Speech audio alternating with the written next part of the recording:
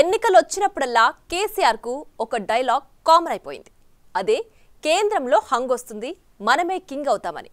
ప్రచారాల్లో దీన్నే హోరెత్తించడం కొన్ని ఓట్లనైనా క్యాచ్ చేసేలా గేమ్ నడిపిస్తున్నారు. తాజాగా మరోసారి కేంద్రంలో హంగ్ అంటూ కామెంట్ చేసి పాత ఫార్ములాను తెరపైకి తెచ్చారు. అసలు బీఆర్ఎస్కు ఒక్క ఎంపీ సీటు కూడా రావడం గ్యారంటీ లేదని కాంగ్రెస్ బీజేపీ నేతలు అంటున్న టైంలో ఈ హంగ్ ఫార్ములా కేసీఆర్కు వర్కౌట్ అవుతుందా?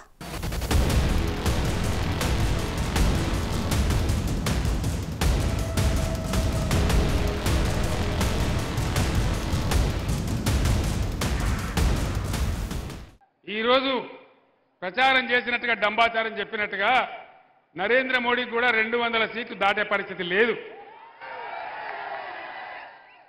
లేదు. వార్తలు వస్తా ఉన్నాయి ఈరోజు పేపర్లలో. మీరు కూడా చూస్తా ఉన్నారు. నేను మీ అందరిని ఒకటే కోరుతా ఉన్నా. ఈ మోకాలో ఇలా తెలంగాణలో పార్లమెంట్ సీట్లన్నీ మనమే గెలిస్తే పేగులు దిగేదాకా కొట్లాడేది ఒకటే ఒక పార్టీ బీఆర్ఎస్ పార్టీ.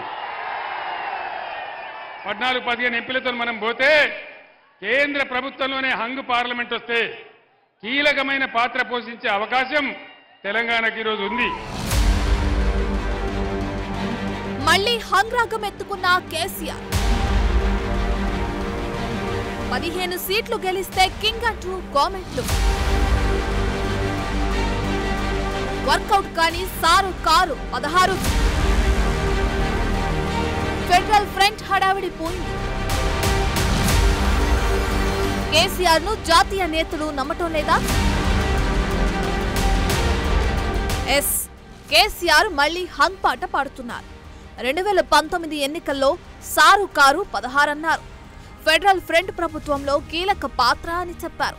కానీ అప్పుడు కూడా తెలంగాణ ప్రజలు బీఆర్ఎస్కు కేవలం తొమ్మిది ఎంపీ సీట్లే కట్టబెట్టారు. ఇప్పుడు మరోసారి కేంద్రంలో ఎవరికి మెజారిటీ రాదు అని చెప్పడం ద్వారా కేసీఆర్ హంగ్ ప్రస్తావన తీసుకొస్తున్నారు. ఇప్పుడు పదిహేను సీట్లు గెలిపిస్తే కేంద్రంలో మనమే కింగ్ అవుతామని చెబుతూ ప్రచారాలు చేసుకుంటున్నారు. నరేంద్ర మోదీకి రెండు వందల సీట్లు దాటే పరిస్థితి లేదని ఇదే మోకాలో తెలంగాణలో పార్లమెంటు సీట్లన్నీ గెలిస్తే పేగులు తెగేదాకా కొట్లాడే ఒకే ఒక్క పార్టీ బీఆర్ఎస్ పార్టీ అంటున్నారు. పద్నాలుగు పదిహేను ఎంపీలతో ఢిల్లీ వెళ్తే హంగ్ పార్లమెంట్ వస్తే కీలక పాత్ర పోషించే అవకాశం బీఆర్ఎస్కు ఉందంటున్నారు. గోదావరి కాపాడుకోవాలన్నా కృష్ణానది కాపాడుకోవాలన్నా తెలంగాణకు రావాల్సిన నిధులు రాబట్టుకోవాలన్నా ప్రాజెక్టులకు జాతీయ హోదా రావాలన్నా నిరుద్యోగ సమస్య తీరాలన్నా బతుకులు బాగుపడాలన్నా ఖచ్చితంగా బీఆర్ఎస్ అభ్యర్థులు గెలవాలంటూ కొత్త ప్రచారాన్ని షురూ చేశారు.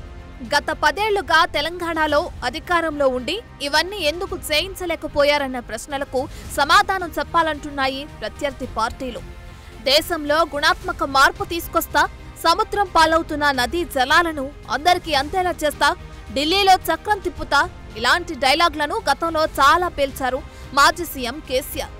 సీన్ కట్ చేస్తే ఏకంగా తెలంగాణలోనే అధికారం కోల్పోయారు. గెలిచి ఉంటే దేశమంతా ఇప్పటికే అగ్గిరాజేసేవాడిని అంటూ ఇటీవలే తుంటి ఆపరేషన్ తర్వాత మాట్లాడారు. ఇప్పుడు ఏకంగా కేంద్రంలో ఏ పార్టీకి మెజార్టీ రాదని పదిహేను సీట్లలో గెలిపిస్తే తానే కింగ్ మేకర్ అంటూ ప్రచారాలు చేస్తున్నారు. మన గోదావరి కాపాడుకోవాలన్నా మన కృష్ణ కాపాడుకోవాలన్నా తెలంగాణకు రావాల్సిన నిధులు రాబట్టుకోవాలన్నా మన ప్రాజెక్టులకు జాతీయ హోదా రావాలన్నా నిరుద్యోగ సమస్య తీరాలన్నా మన బతుకులు బాగుపడాలన్నా ఖచ్చితంగా ఇలా బీఆర్ఎస్ అభ్యర్థులే గెలవాలి. అదే తెలంగాణ క్షేమం. దయచేసి ఆలోచన చేయాలి. నేను చెప్పేది ఆశామాసి మాట కాదు.